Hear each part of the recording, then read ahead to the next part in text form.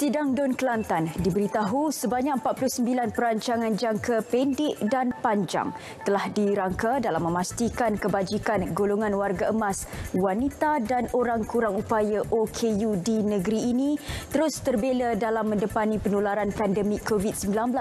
Pengerusi Jawatan Kuasa Kebajikan Pembangunan Keluarga dan Wanita Negeri, Datuk Mumtaz Maknawi berkata, ia terdiri daripada 27 perancangan jangka pendek dan panjang untuk golongan OKU, wanita dan warga emas. Beliau berkata, agihan bakul makanan, caruman skim takaful rahmah kepada OKU terlantar dan Majlis Penasihat OKU Negeri Kelantan pula antara 9 perancangan jangka pendek dan 18 jangka panjang bagi golongan OKU.